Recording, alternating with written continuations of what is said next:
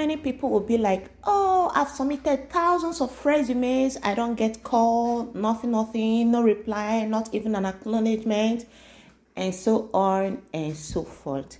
Now, part of the reason might just be your fault.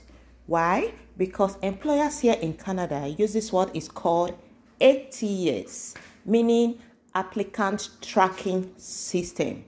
With that software, the employer helps the employer uses the ATS to sieve out numerous resumes that they get. Now, what they do, they key in some keywords, and if such keywords are not found in your resume, it means you are out of luck. Why? Because even the employers might not even end up might end up not seeing the resume. So many people use one particular resume to submit for different job openings, which is not right.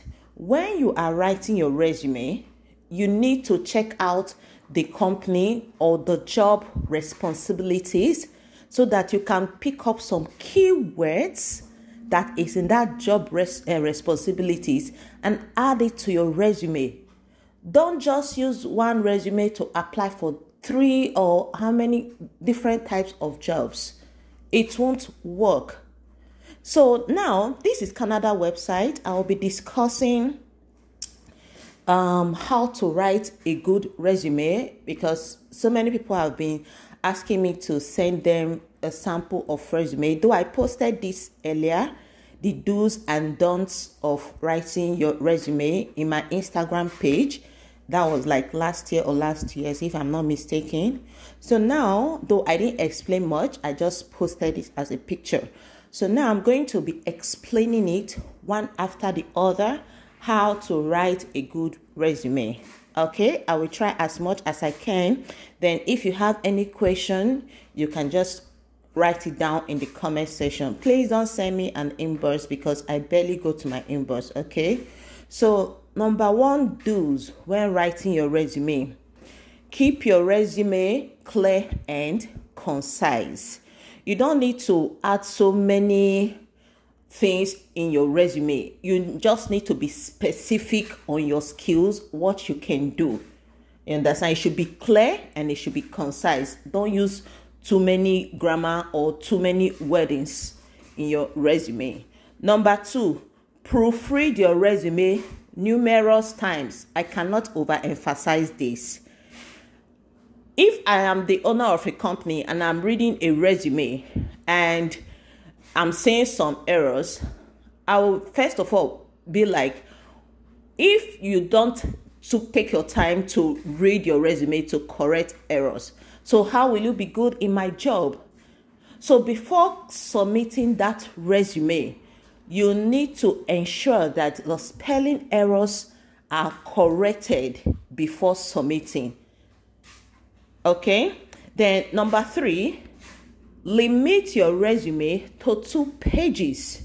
Some people that I know give me their resume to go through. Some of them brought in three pages, some half page, some even four pages. Now, the maximum number of pages you can write is two pages or even one and a half. You don't need too many things in your resume because these employers have many resumes. Okay, so if they see your own is three pages, they might just dump it. Understand? So you just limit your resume to just two pages and emphasize on the skills the recent skills and not the ones that maybe you've gotten like 10 to 15 years back. No. So just emphasize on the recent experience and skills you have. Number four, tailor your resume to suit the position you are applying. So this boils down to what I spoke earlier. You don't just use one resume to be applying for different jobs. No.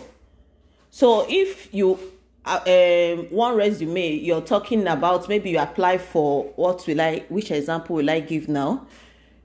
A communicator or a social media specialist? And you're applying for a social media specialist for example you submitted a resume and you see another job for a different position. You are still using that social media uh, specialist to submit for the other position it doesn't work that way. So you have to specify or be specific in your resume. Do not use one resume to apply for different job. Always check the responsibilities of that job listing. Sometimes what i even notice there are some titles that are same titles but when you check the responsibilities you see that it's different it's different responsibilities so don't just pick up the title and see oh okay same title i can use the same resume to submit to the uh, to the job opening. No always read the responsibilities so that you will know you can adjust your resume a little bit from the other one. Okay? So what i usually do i use microsoft word. I don't um, convert mean i convert to pdf when i'm writing my resume but i leave the other one in words like a microsoft where i can easily edit. That's what i do when i'm looking for a job so that you don't need to start typing and typing and typing. Okay? That's easy way. Just um, leave one in microsoft word where you can easily edit the resume rather than converting the PDF and then deleting the Microsoft Word. Okay, that's an easy way to um, edit your resume without the stress of writing everything back. So always edit your resume to tally with the job responsibilities. Then the next point, highlight what you have accomplished. In fact, this is another good boost in resume when an employer sees oh i've achieved i increased um, i helped my previous um, company to increase 70 percent sales and all that. And please don't lie because at the end they might tell you to um, bring reference from your previous company. And this is why it's also good to maintain a good relationship in your previous company because some of the employers here in Canada, when they maybe they've offered you or they about they want to consider you for a job offer, they might tell you to get a reference from the other company to support what you have in your resume. So always write your accomplishment accomplishment okay in your resume it helps to boost it as well as I'm explaining, you guys can be reading through, okay? Then be honest. You need to be honest in your resume. Here in Canada, you know, sometimes in Nigeria, we might um, just do things anyhow and we can get away out of it. But here in Canada, if you lie in your resume that you can do so so so thing, you can do so so so thing, you must actually prove when you start the work. Only you will get frustrated and then resign. Because since you say you are you have the skill to do this type of work, they expect you you're bringing something very unique into the company. So the employers might feel disappointed if whatever you wrote in your resume is not what you are actually. So just be honest because you will actually work or bring in that skill that you said you have. I have some friends that are in this situation. They, they, in fact, they are so frustrated in the work right now. So you need to be honest in whatever you're putting in your resume. Then quantify your achievement. You use numbers like what I said don't just say, I help my my company to increase sales. I help my company to bring more customers. I always make calls. Maybe you are applying for customer service. Say I always make calls. Always quantify your achievement. For example, I make 100 outbound calls, incoming calls, or outbound incoming calls and outbound calls. So you don't need to say, I always make outbound calls. Okay, how many outbound calls can you make daily? you need to quantify it. And another thing is if you're talking about helping your company to make sales how many sales can you make? Maybe you're applying for sales and marketing. How many sales were you able to make for your company? Is it 70% 50% always quantify it then the next is use simple words and action verbs. You don't need to speak big big grammar to uh, um like speaking big grammar just to impress the person that is reading reading the resume. You know employers here in canada sometimes they are not even the one reviewing the resume. They hire recruiters. Some of them hire recruiters. Their own work is just to go through your resume and the job responsibility mentioned and see if it's tallying with what you have in your resume. Sometimes they, they are not really specialized. I mean, the hiring recruiters, they are not really specialized in that field. So if you go on using big, big grammars in your resume, they might get confused and then dump your resume. You just need to use simple words and also an action verb like managed, led, developed, and all that. So don't use big grammars to impress anybody because even the big grammars might uh, uh, allow the hiring recruiter to drop your resume. Then the next is include unpaid work that show off your skills. Now, Canada does not really um all they need is your skills, right? Whether it's paid or unpaid. Okay, you don't necessarily you need to get uh, paid for you to showcase that your skill. If you know you are applying, that's the more reason you have to check the responsibilities when you're applying for a job, not just the um, job title. So many people make mistakes.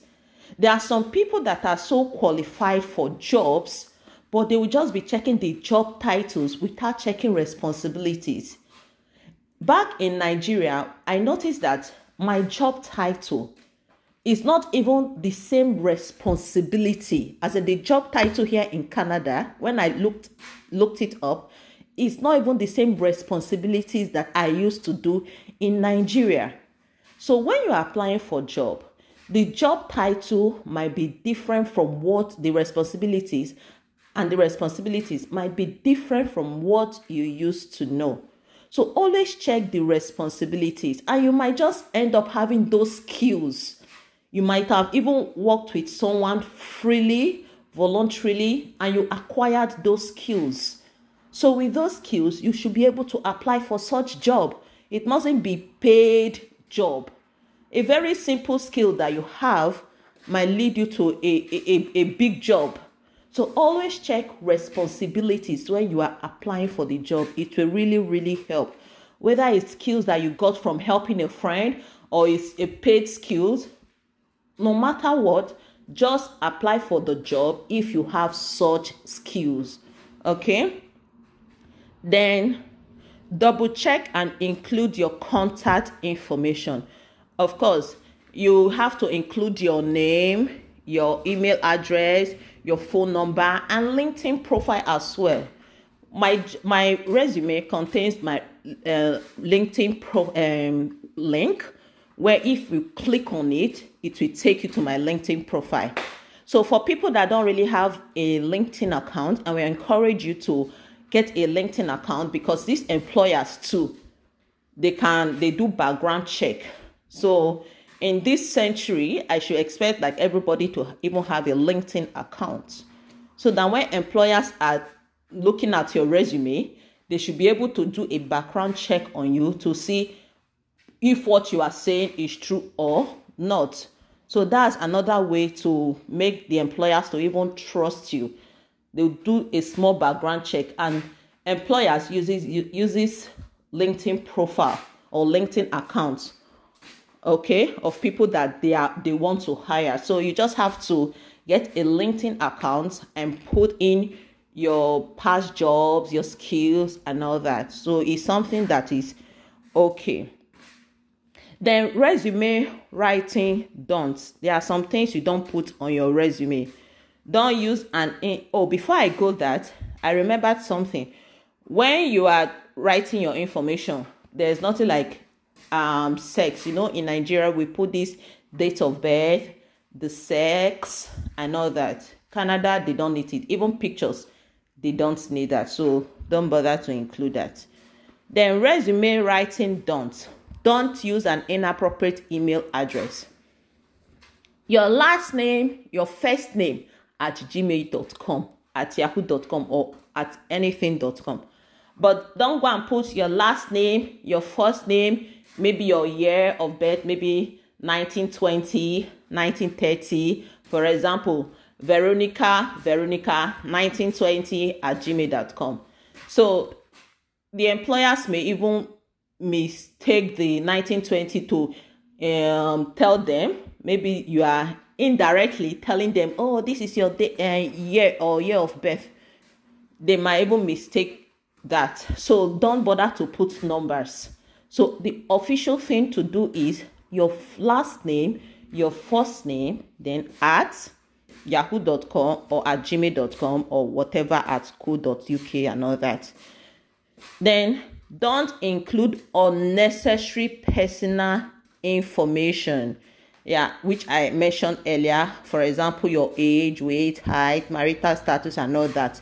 They don't care. Even during the um maybe interview process in fact it's against the law canada law for an employer to start asking you it's inappropriate for an employer to start asking you how old are you okay and they are not meant to do that so it's called what uh, I've forgotten the term. They, I, I read it up one certain time. I've forgotten the term they call it, but they are not meant to ask do that. So if, for example, an employer is asking you that, you have the right to say, I don't feel like discussing about my age.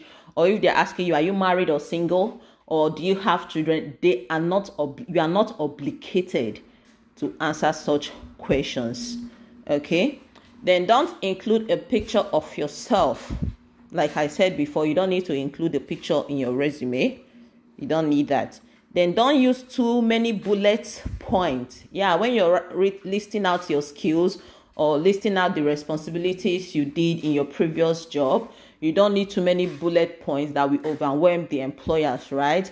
Just list like five to seven bullet points and those bullet points should be the one that matches with the job responsibilities, as in those skills you're transferring from your previous job into your new job, should be the one that is aligned with the responsibilities that is mentioned in the job opening. Okay, so you don't need too many bullet points so that you don't get the the hiring recruiter will not be overwhelmed with so many bullet points. Then don't use personal pronouns. I was this in my this, my this is this or this. No, you don't use personal pronoun when you are writing your resume. Don't simply job don't simply list job responsibilities. Don't just go about listing job responsibilities like I I make calls as in trying to list out the responsibilities. While you are listing out responsibilities, you need to also put the achievement. Okay? You need to uh, put how, for example, okay, let me give for example, made 100 outbound calls, which led to 50% increment in our customers. You understand? So when you are listing responsibilities, always include your achievement, what you achieve from doing that responsibility. Rather than saying made 100 outbound calls you just put a full stop there. No. Employers it doesn't say okay what is the result of the outbound calls? Is there achievement or you are just carrying phone and be making calls? No achievement. So you need to list responsibility and tell the tell them the results of what you did okay? So don't make general statement. You don't need a vague statement.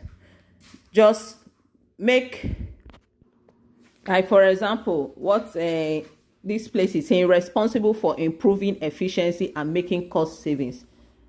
It does not even make any sense if you just say responsible for improving efficiency and making cost savings this does not even give any information to the employer. So you don't just make a general statement. Don't include reasons for leaving previous job. You don't need to include those reasons in your resume. If an employer happens to or a hiring a recruiter happens to eventually get you interviewed some of their interview question is why did you leave your previous job? So that will be an opportunity to tell them the reason why you leave an, uh, your previous job. But please do not say anything negative about your company. Anyway that one is interview aspect okay? So don't always include the reason for leaving previous jobs when you are writing your resume okay? Don't include references. They don't need those references. Like i said earlier if they happen to employ you they will request for such references. So don't bother to start writing the references. I know in nigeria we used to write references after writing our resume. We write reference call this number and blah, blah blah they don't need it here in canada. Then don't include hobbies or interests they don't need it. So except the hobby or interest is something that is related to the work. But like me personally i don't bother to include anything hobbies or interests okay? So that is it about resume do's and don'ts. So if you have any question regarding this or maybe you need a sample you can send it um, you can write it down in the comment section. Please not my inbox. I barely go to inbox so always put it down in the comment section if you want like a sample or something. But i know with this you should be able to write the resume without any yeah you can write your resume without any difficulty okay? So guys bye for now